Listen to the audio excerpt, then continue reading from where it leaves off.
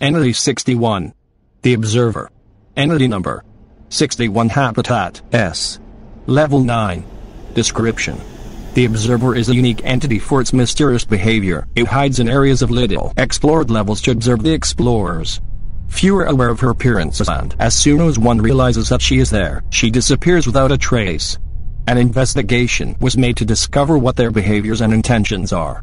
But unfortunately absolutely nothing could be known about the entity. The only thing that could be done is to take a photo before it disappears. The level where the investigation was carried out is unknown to date. Behaviors.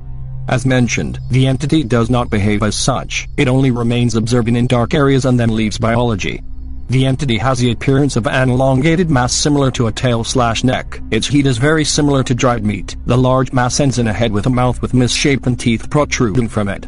When it disappears, either because someone saw it or they become aware of its presence, it will move backwards like a fading snake in about 1 to 2 seconds. Its snake-like tail slash neck allows it to move efficiently and quickly.